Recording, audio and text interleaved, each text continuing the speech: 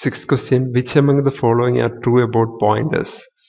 Pointers allow different functions to share and modify their local variables true.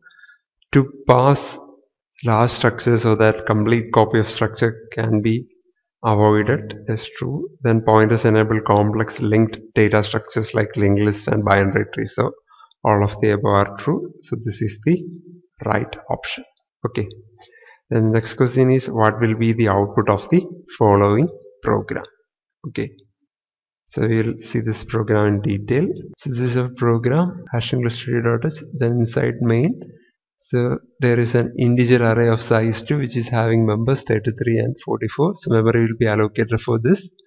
So assume that it is allocated address 300. It's just an assumption. And array of 0 is having value 33 and array of 1 is having value 44. Okay, next statement. There is a pointer p which is actually getting the address ARR plus 1 ARR is the starting address of the array 300 300 plus 1 means so this ARR is an integer array so ARR plus 1 will be ARR plus 1 into size of int that is assume here it is 4 bytes.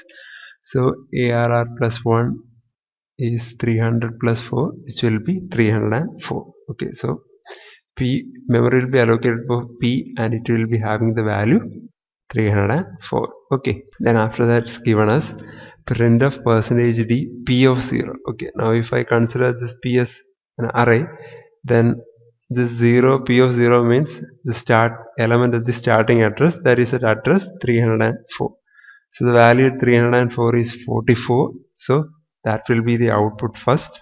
So p of value of p of 4 that is value at 304 will be printed. So it will be having value 44 and then the value at array of 0 that is this particular value that is 33 will be printed. So the output will be 44 and 33 okay.